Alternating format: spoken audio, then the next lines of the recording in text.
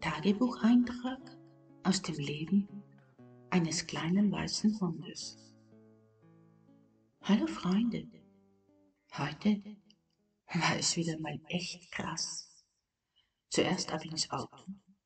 Ich bin so ein cooler Autofahrerhund, meint mein Frauchen, und die weiß, von was sie spricht, denn sie hatte auch schon sogenannte Speibschüsseln keine Ahnung, was das wiederum ist.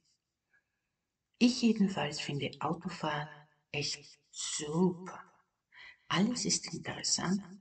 Vorerst bin ich noch in meiner schicken Karotasche angehängt auf Rauchens weil hinten sitzt die grantige Gouvernante.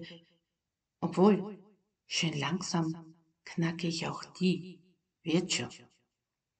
Eine große Runde im Park gemacht danach ab ins Einkaufszentrum, weil Frauchen meint, auch das muss ich kennenlernen. Da war ich so geflasht von den Eindrücken, der Musik, die vielen, vielen Leute und überhaupt, dass ich in einer kurzen Pause, während wir auf Herrchen warten mussten, er war shoppen, was ohnehin selten genug vorkommt, meint die Frau, doch glatt auf ihren Schoß gelegen. Na, eigentlich wie ein kleines Eisbärfell gehangen habe. Aber sie, also die Frau, sagt, ich muss alles schon so bald als möglich kennen, damit ich es später einmal leichter habe oder so. Danach war ich noch eine Runde im Garten toben und sehr ungehalten, als ich dann die Füße abgewischt bekomme.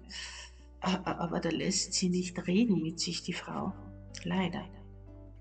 Tschüss. Bis zum nächsten Mal, Leute. Eure Daisy.